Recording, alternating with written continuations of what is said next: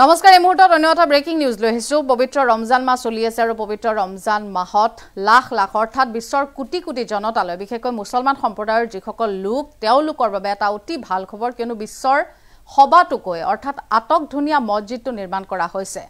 Three D হিচাপে তৈয়াৰী কৰা হৈছে সেই মছজিদটো আৰু খুব সুন্দৰকৈ সেই মছজিদটো নিৰ্মাণ কৰা হৈছে মুছলমান সম্প্ৰদায়ৰ লোকসকলৰ বাবে।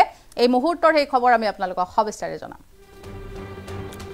পবিত্ৰ ৰমজান মাহতেই বিশ্বৰ সবাতোকৈ আটকধুনীয়া মছজিদ নিৰ্মাণ কৰা হৈছে। এইবাৰ মুছলমান সম্প্ৰদায়ৰ লোকসকলৰ বাবে ছৌদি আৰবত বিশ্বৰ আটাইতকৈ ধুনীয়া মছজিদটো নিৰ্মাণ কৰা হৈছে।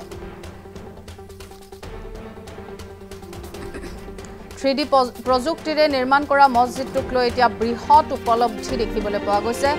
মুছলমান লোকসকলৰ মাজত থ্ৰী ডি প্ৰযুক্তিৰে নিৰ্মাণ কৰা এই মছজিদটো বিশ্বৰ প্ৰথমটো মছজিদ আৰু এই মছজিদটোক চাবলৈ এতিয়া হেতাও পৰা চৌদি আৰবৰ জেড্ডাত নিৰ্মাণ কৰা হৈছে এই সুন্দৰ আটক ধুনীয়া মছজিদটো।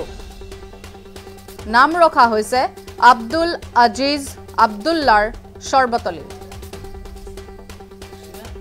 মছজিদটোৰ পৰিসৰ নমুনা প্ৰায় পাঁচ হাজাৰ ছশ বৰ্গমিটাৰত নিৰ্মিত হৈছে। প্ৰৱেশ কৰিলে শান্তি আৰু আধ্যাত্মিকতাই মানুহৰ মনত স্থান পাব বুলিও দাবী উত্থাপন কৰা হৈছে। ইছলামৰ উদাৰতাৰ প্ৰতি আকৃষ্ট হৈ বহু লোক দৰ্শনৰ বাবে আহিব বুলিও মন্তব্য কৰিছে কৰ্তৃপক্ষই।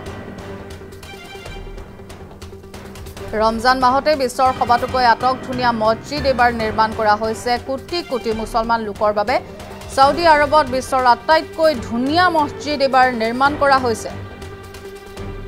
থ্ৰী ডি প্ৰযুক্তিৰে নিৰ্মাণ কৰা এই মছজিদটোক লৈ এতিয়া বৃহৎ উপলব্ধি মুছলমান সম্প্ৰদায়ৰ লোকসকলৰ মাজত থ্ৰী ডি প্ৰযুক্তিৰে যিহেতু বিশ্বৰ প্ৰথমটো মছজিদ এইবাৰ নিৰ্মাণ কৰা হৈছে।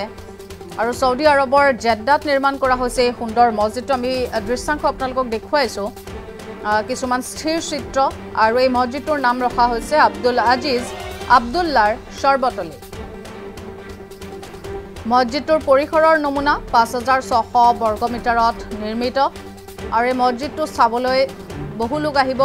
মছজিদটোত প্ৰৱেশ কৰিলে শান্তি আৰু আধ্যাত্মিকতাই মানুহৰ মনত স্থান পাব বুলিও দাবী উত্থাপন হৈছে। ইছলামৰ উদাৰতাৰ প্ৰতি আকৃষ্ট হৈ বহু লোক দৰ্শনৰ বাবে আহিব বুলি কৰ্তৃপক্ষই মন্তব্য কৰিছে। ৰমজান মাহতেই বিশ্বৰ সবাতোকৈ আটকধুনীয়া মছজিদ এইবাৰ নিৰ্মাণ কৰা হৈছে ছৌদি আৰবত আৰু ছৌদি আৰবৰ এই বিশ্বৰ আটাইতকৈ ধুনীয়া মছজিদটো নিৰ্মাণ কৰা হৈছে থ্ৰী ডি প্ৰযুক্তিৰে। আৰু যিসকল লোক আচলতে মুছলমান সম্প্ৰদায়ৰ লোকসকলৰ মাজত এতিয়া বৃহৎ উপলব্ধি দেখিবলৈ পোৱা গৈছে বিশেষকৈ এই মছজিদটোৰ নিৰ্মাণক লৈ। মছজিদটো যিহেতু বিশ্বৰ প্ৰথমটো মছজিদ থ্ৰী ডি প্ৰযুক্তিৰে নিৰ্মাণ কৰা। গতিকে এই মছজিদটো চাবলৈ কিন্তু বিভিন্ন লোক আহিব বিভিন্ন স্থানৰ পৰা মুছলমান সম্প্ৰদায়ৰ লোকসকলৰ মাজত যথেষ্ট আচলতে আনন্দ দেখিবলৈ পোৱা গৈছে। আৰু এই মছজিদটোৰ নাম ৰখা হৈছে আব্দুল আজিজ আব্দুল্লাৰ চৰ্বতলী মছজিদটোৰ পৰিসৰৰ নমুনা পাঁচ হাজাৰ ছশ বৰ্গমিটাৰত নিৰ্মিত। ছৌদি আৰবত নিৰ্মাণ কৰা হৈছে এই আটক ধুনীয়া মছজিদটো য'ত প্ৰৱেশ কৰিলে আপুনি পাব শান্তি আৰু আধ্যাত্মিকতা। ইছলামৰ উদাৰতাৰ প্ৰতি আকৃষ্ট হৈ বহু লোক এই মন্দিৰটো দৰ্শনৰ বাবে যাব বুলিও দাবী কৰিছে কৰ্তৃপক্ষই।